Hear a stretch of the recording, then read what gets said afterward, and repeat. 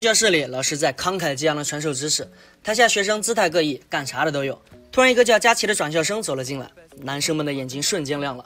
这帮血气方刚的小伙子，何曾见过这么大的尺寸呢？看的是目瞪口呆呀。而这个家伙呢，就是本片的男主角小白了。从此，小白枯燥的生活变得丰富多彩起来，每天看球成了他最大的爱好。终于，皇天不负有心人呐，伟大的福利来临。由于佳琪今天忘记穿内衣，把校服给撑破了。让男生们瞬间饱了眼福，小白更是差点控制不住自己，专心致志地看了半小时，最终被老师臭骂一顿。所以说啊，尺寸大也未必是件好事啊。往后的日子里，小白满脑子都是佳琪的身影，幻想着和小姑娘进行各种羞羞的事情，其变态下流的程度让同班女生闻之色变。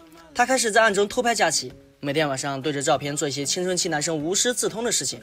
某天，他无意间偷拍到了佳琪的一个秘密，原来啊，他经常被一个社会大哥接出去潇洒，这让小白心痛不已啊。第一次尝到了失恋的味道。很快，佳琪的生日到了，班内所有男生自发的为这个校花准备了礼物，小白也送上了一份心意。但是他的礼物却被当众打开，原来是一本避孕宝典。他本是好意啊，怕佳琪和社会大哥怀孕毁了前途，可是现在却给佳琪带来了负面影响，让其成为了大家眼中的荡妇。这真是好心办坏事呢。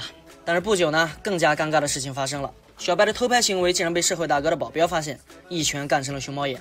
不过意外的是，社会大哥并没有继续难为他。而是来了一次男人之间的谈话。原来啊，他是佳琪的老爸，从小混迹社会，十六岁就有了佳琪。此后呢，痛改前非，做起了正经人。他说自己最后悔没考上大学，只要小白考上了北大，佳琪就是你的了。小白陷入了深思，第一次有了规划人生的意识。随后，佳琪又找到了他，说：“我知道避孕宝典是你的，下次衣服破了别光顾着看着，记得提醒我。”原来啊，美丽的佳琪其实内心非常孤独，有贼心没贼胆的小白给了她不一样的感觉。幸福来的真的是太突然了。今天的故事就到这里了。你的青春期做过哪些特尴尬的事？